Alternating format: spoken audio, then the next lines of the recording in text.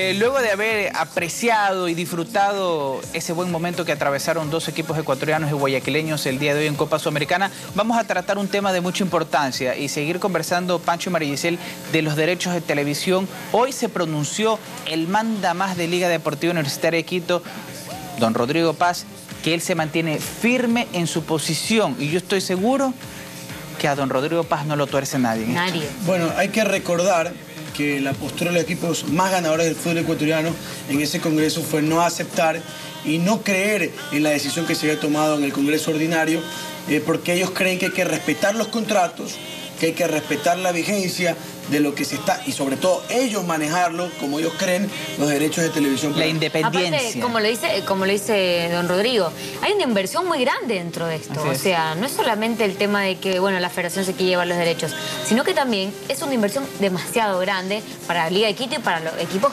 digamos de que a ver, manejan muchos intereses económicos, ¿no? Como son Barcelona, Melec, Liga de Quito, que son equipos grandes, ¿no? Yo Sin desmerecer los otros equipos. Yo digo algo, y esto no es que lo tomen como a desafío los dirigentes de los otros clubes, que lo asimilen como quieran, ¿verdad?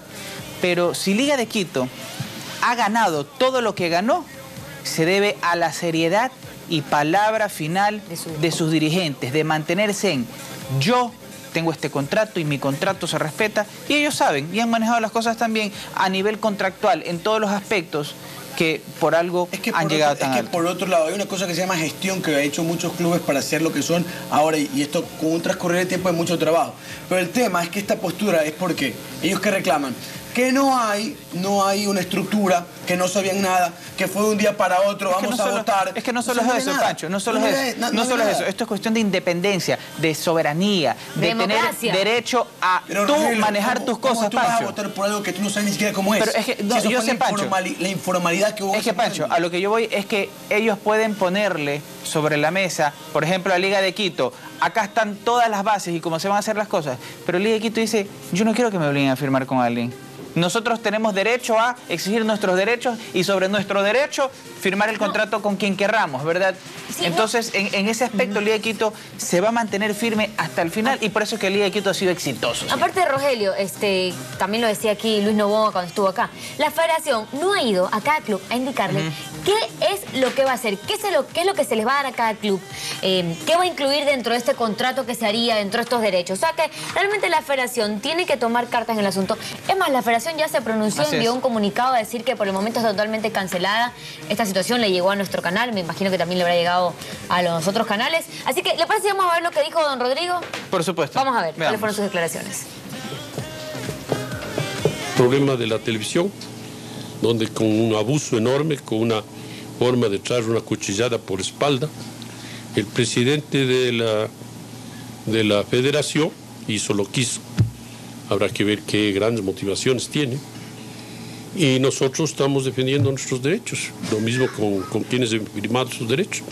Y vamos a seguir la lucha, tenemos buen asesoramiento jurídico y tendremos que buscar entendernos de alguna forma u otra porque tal como está la fuerza, no vamos a aceptar. Y nosotros eh, eh, vamos a hablar con Canal 4, con el que tenemos el convenio, y eh, con otros canales que, eh, eh, para ver qué es lo que tenemos que hacer. Pero este individuo que preside la ecuatoriana no es eh, el- un dictador.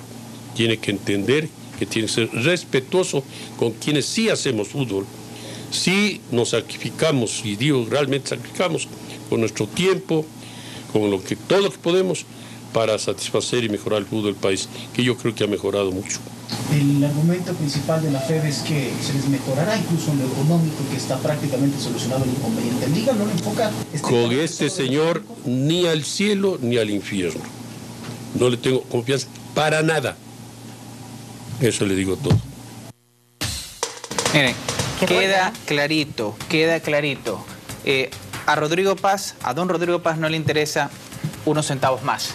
A él lo que le interesa es, como lo dijo, La independencia de manejar las cosas desde su punto de vista, como ellos quieren o con quien ellos quieran, y no que se les imponga de manera obligatoria, porque sí es verdad, pueden decir, es que esto fue una democracia porque la mayoría decidió, sí, No. pero decidió en base a mis derechos. Exacto. mañana yo Decidieron puedo por mis decir- derechos. Mañana puedo decir, eh, decían a los equipos, a ver, vamos a votar, votamos todos. Así Aquí es. es. un tema de que no existió análisis, que no hubo nada previo, No que, no se, no respetó contratos, que no se analizó estructuras, que no se analizó nada. Fue una votación superficial, vamos, sí o no, y eso es lo que reclaman y por eso se sienten desprotegidos, indignados muchos dirigentes y por eso rechazan de hecho esta postura. Está muy bien. Bueno.